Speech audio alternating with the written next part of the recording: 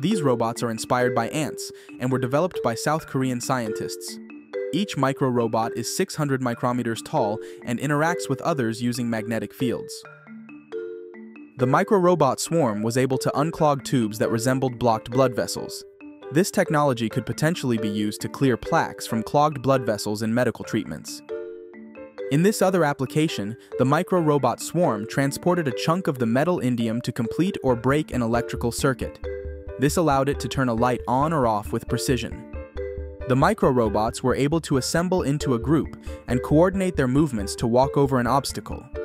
By leveraging their collective strength and synchronized actions, they successfully overcame barriers, demonstrating their ability to adapt and perform tasks that require precise teamwork.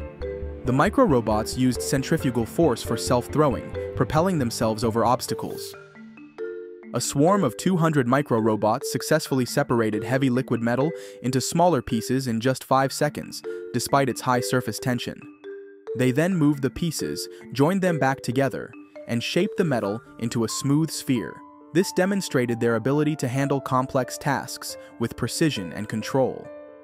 The micro-robots formed a spinning swarm on water, creating a floating raft structure that allowed them to carry a pill 2,000 times heavier than a single robot across the surface. This approach could be applied to deliver lightweight medical supplies or drugs across liquid environments in remote or constrained settings. In this example, the swarm used orbital dragging motions at 2.5 Hz to block the superworm's path and stop it from reaching the food. As soon as the swarm stopped its spinning, the worm was able to move toward the food. The micro-robots guided an ant by using a spinning motion to block its path and topple its legs without causing harm. By controlling the swarm's direction, they successfully steered the ant to a desired location. This technique could be applied in pest management or controlled behavioral studies of small organisms. The micro-robots can assemble into structured swarms or disassemble into individual units based on the strength of the magnetic field.